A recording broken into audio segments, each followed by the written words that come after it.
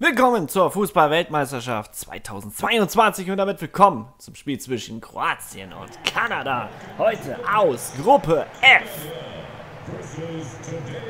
Ich bin der Dennis vom Kanal Nummer 615, der Kommentator dieser Begegnung. Und mal gucken, welches dieser beiden Teams hier und heute siegreich von dannen ziehen wird. Durch den Erfolg der Belgier ja, ist natürlich hier einiges offen. Wenn Kanada dieses Spiel verlieren sollte, ist es das direkte Aus. Aber als erstes gibt es die Nationalhymnen beider Teams. Als erstes die von Kroatien.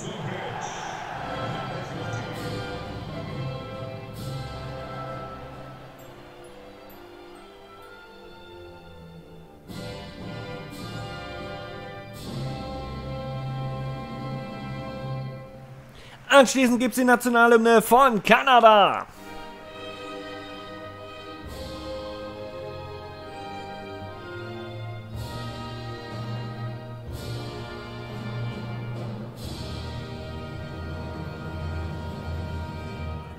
Und damit kann es losgehen, oder besser gesagt, damit können wir uns als erstes die beiden Mannschaften uns anschauen. Die Kroaten heute mit einem 4-1-4-1-System ja, im letzten Spiel gegen Marokko den Lucky Punch geschafft. Und natürlich ist die große Frage, werden sie heute das Spiel früher entscheiden? Oder wird das eine knappe Geschichte gegen das kanadische Team? Kroatien im letzten Spiel siegreich gewesen gegen Marokko, die aber heute vorhin verloren haben. Das heißt also, falls Kroatien hier und heute jetzt gewinnen sollte, bedeutet das, dass Kroatien, Belgien beide sechs Punkte haben und damit dann beide auf jeden Fall schon in der nächsten Runde sind. Und aber die Frage, die lautet, wer dann Gruppenerster wird. Also, Kanada ist heute gefordert. Ein Sieg ist so gut wie Pflicht. Heute die Aufstellung der Kanadier. Sie spielen heute mit einem 4-2-3-1-System. Also hier stellt sich dann auch die Frage, wird es denn offensiv besser laufen als gegen das belgische Team oder eben nicht. Und damit kann es losgehen. Kroatien in den weißen Trikots gegen Kanada in Rot. Und ja, die Vorzeichen stehen auf Sieg. Egal auf welcher Seite. Damit die Chancen weiterhin gewarnt bleiben. Und dann macht er hier ein großes Solo. Und die Chance zum 1 zu 0. Was war das denn bitte? Solo-Lauf par excellence. Und dann gibt es hier die riesen Möglichkeit hier für Kroatien in Front zu gehen. Von Palas... Pa, Pasalac... Entschuldigung. Ecke kommt. Davis erstmal geklärt. Kovacic. Und der Konter eingeleitet über David. Jonathan. David. Und der Ball kann geklärt werden. Trotzdem weiterhin Kanada nach vorne. Oh, oh, oh. Osorio. Mit der Möglichkeit zum 1 zu 0. Der Keeper bleibt da, aber gut kann den abwehren und damit den Eckball für das kanadische Team provozieren.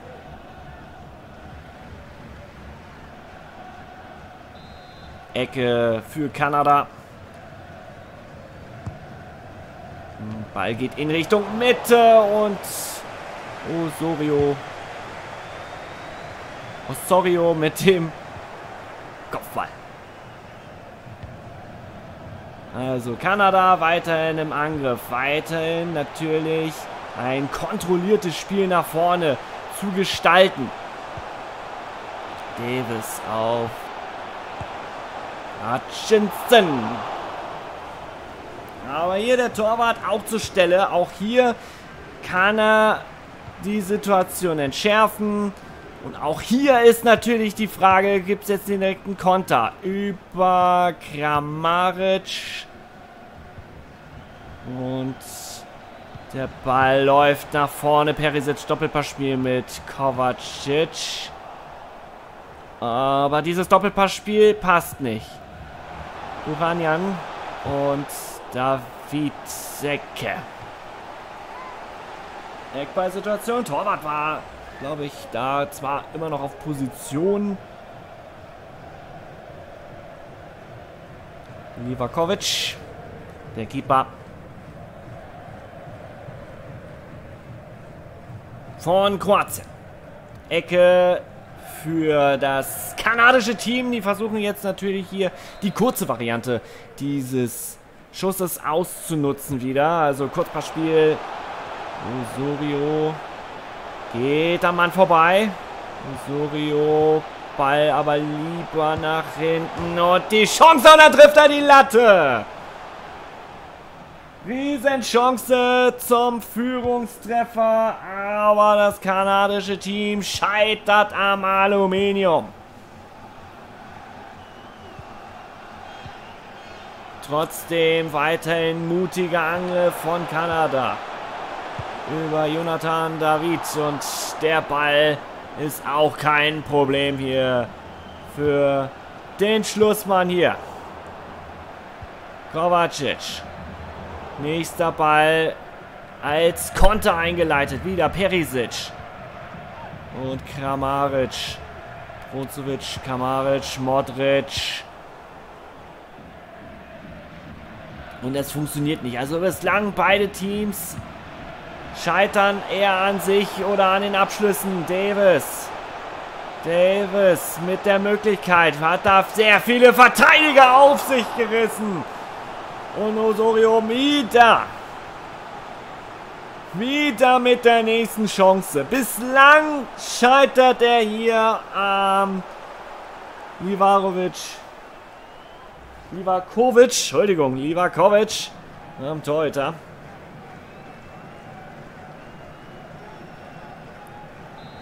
Und es gibt den nächsten Eckball. Wieder Ecke Kanada. Dieses Mal keinen Spieler mit rangeholt. Lovren klärt den Ball. Kovacic auch, aber mit dem falschen Körperteil. Es gibt Freistoß. Freistoß, halbe Stunde ist bereits rum. Kroatien hat sehr viel hier mit der Abwehr zu tun. Hat hier sehr viel, hat der Torhüter sehr viel hier zu tun. Also ein, eine Chance zum 1 zu 0 haben die Kanadier eher. Freistoß kommt und Livakovic wieder richtige Ecke. Und wieder macht er den Eckball. Für Kanada bereit damit. Er hält hier alles, was er zu halten hat. Bislang bleibt damit die Null hinten stehen. Klar, der Druck ist natürlich da. Man weiß, wenn man hier gewinnt, ist man im Achtelfinale. Kennedy. Na, wird hier... Oh, wird hier bös gestoppt. Handspiel, ja, aber im Fallen, das sieht der Schiedsrichter, die Schiedsrichterin hier ähnlich. Im Fallen, da wird hier nicht auf Handspiel entschieden. Davis. Nächste Chance Kanada. Wieder ab nach vorne Brozovic bleibt da hinten stehen. Und so, sie müssen das hier anscheinend die Kroaten über den Konter gestalten. Sonst kommen sie nicht nach vorne. Perisic, nächste Chance. Oder besser gesagt, erste nennenswerte Chance nach dem Überraschungs-Solo-Lauf. Und die bleibt auch vertan. David, Ball mit der Hacke rübergespielt, aber auch da ist der Ballabnehmer einfach an der falschen Stelle. Ja. Palasovic mit einem kunstartistischen Pass, wenn man das so bezeichnen kann. Und wieder geht's in Richtung Tor von Kroatien. Und wieder wird erst sehr spät angegriffen, David. Jonathan David. Auch hier wieder. Das ist sehr viel, was hier Kroatien hinten arbeiten muss. Aber Kanada, wie schon gegen Belgien, das funktioniert einfach nicht. Und kommt einfach nicht das Tor hin. Nachspielzeit zwei Minuten. Viel Zeit ist es nicht mehr.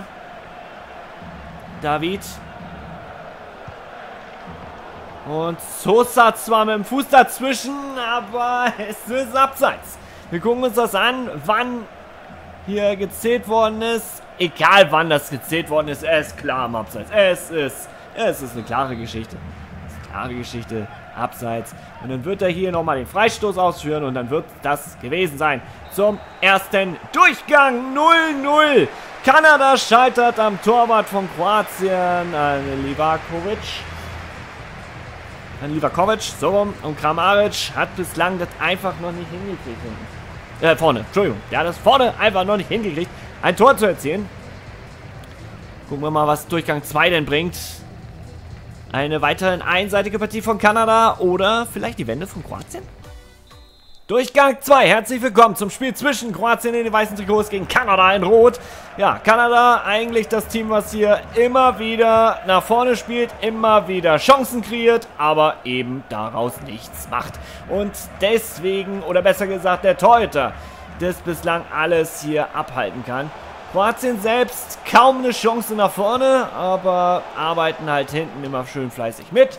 Und so steht es eben noch 0 zu 0. Ein 0 zu 0, was natürlich einige Räume natürlich auch noch lässt. Klar, also auch von der Konstellation her. Kroatien dann mit diesem 0 zu 0 mit vier Punkten. Kanada hat einen. Für die Belgier spielt das natürlich extrem in die Karten.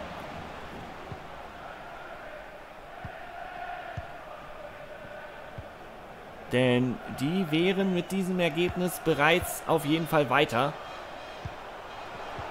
Nur bei einem kanadischen Sieg wären sie es nicht. Hutchinson. Auch da Sololauf. Niemand greift ihn an. Das Foul wird hier als dessen nicht betitelt. Nächstes Aufbauspiel von Kroatien.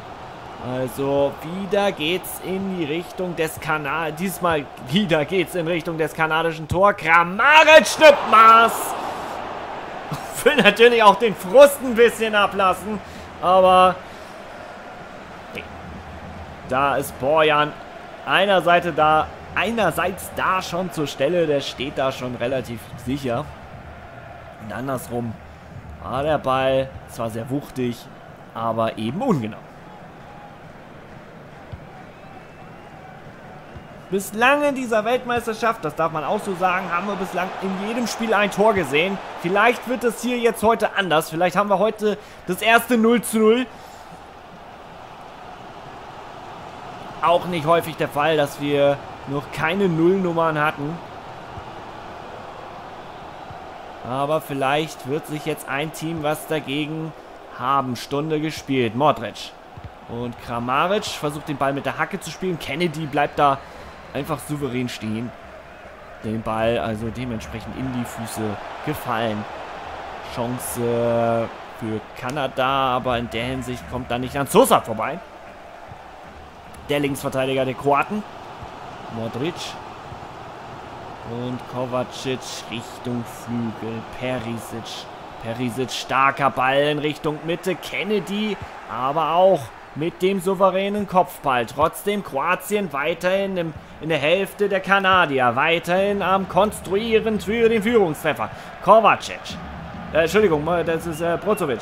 Hier ist Perisic, der natürlich erstmal schaut und sich ja, enorm Zeit lässt. Wird auch hier nicht unter Druck geraten. Brozovic. Und da ist Modric. Der Kapitän mit der nächsten Möglichkeit. Also Spiel scheint zu kippen. Nach einem Offensivlauf der Kanadier im ersten Durchgang gibt es diesen im zweiten von Kroatien. Bisher schon. Wechsel werden wahrscheinlich gleich auch getätigt. 70. Minute. Nein, der Wechsel soll noch nicht kommen. Es gibt erstmal den Eckball. Ecke Modric. Kopfball wird geklärt. Zweiter Ball wird auch geklärt, sodass Modric wieder den Ball hat.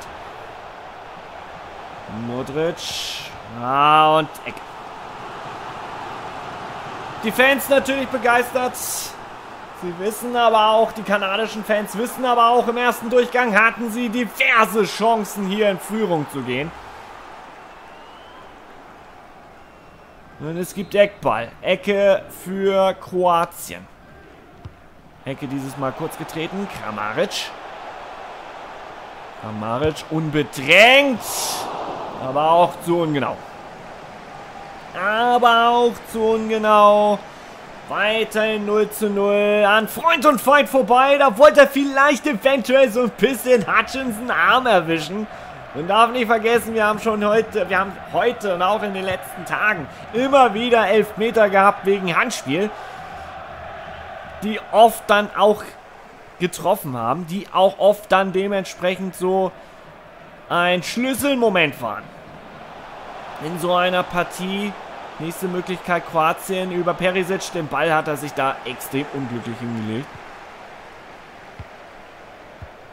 Und so ist eine Einleitung eines Konters für Kanada. Die erste Möglichkeit des zweiten Durchgangs für die Gäste über Davis. Hutchinson hat den Ball erobert. Hutchinson auch gegen den anderen Altstar, nämlich gegen Lovren, nicht der Sieger.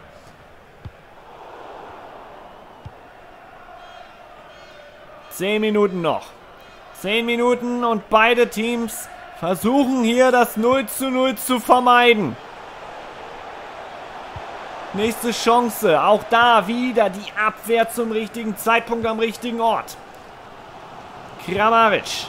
Ball geht quer rüber auf die andere Seite. Könnte eventuell vielleicht Kroatien wieder, wie gegen Marokko, in der letzten Minute der Siegtreffer gelingen. Es gibt Abstoß, es gibt Abstoß, es gibt Wechsel. Wechsel bei Kroatien, die Nummer 19 geht, dafür kommt die 21. Und bei Kanada gibt es den Wechsel, die Nummer 23 geht, dafür kommt die 8. Offside.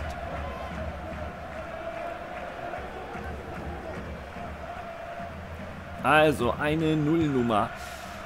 Wäre natürlich interessant. Oh, die Nummer 5, Entschuldigung. Die, die Nummer 8, die Nummer 5 kommt aufs Feld. Eine Nullnummer wäre natürlich für beide ein bisschen wenig. Andersrum macht es natürlich den letzten Spieltag vielleicht auch für Kanada nochmal interessant. Denn, wie erwähnt, Belgien spielt im direkten Duell gegen Kroatien.